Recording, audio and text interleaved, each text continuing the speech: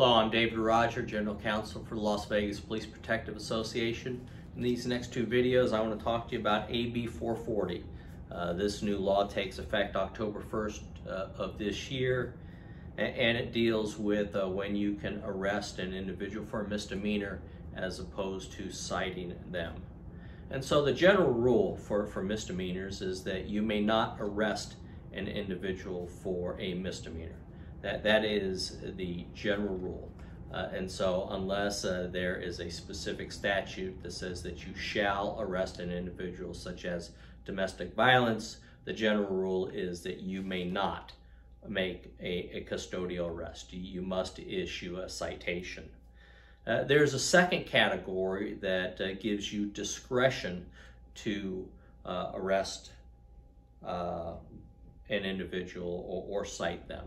And uh, these offenses uh, include violation of a protective order, stalking, an offense involving the use or threatened use of violence, driving on a restricted driver's license, driving on a revoked driver's license, uh, or committing a repeat offense. And the statute defines a repeat offense is uh, that for which a person has previously been arrested, convicted, or issued a citation.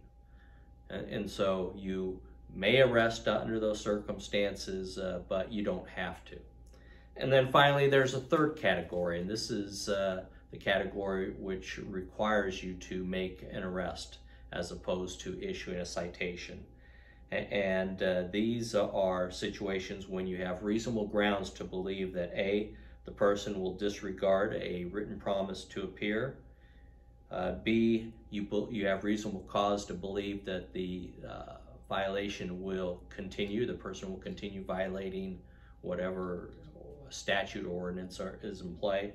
Or three, uh, the offense uh, involves uh, the threat of imminent danger to another person or property. Under those circumstances, you shall make an arrest. And so really, uh, except for those uh, circumstances where you have reason to believe that the person's going to disregard the promise to appear, or, or you have reason to believe that uh, the violation will continue, or you have reason to believe that another person or property is in imminent danger. And really, that is your call uh, as to whether you believe that these situations can occur. You never you're never required to issue a citation, I mean, make a misdemeanor arrest ever, uh, unless it's specifically required by statute like domestic violence.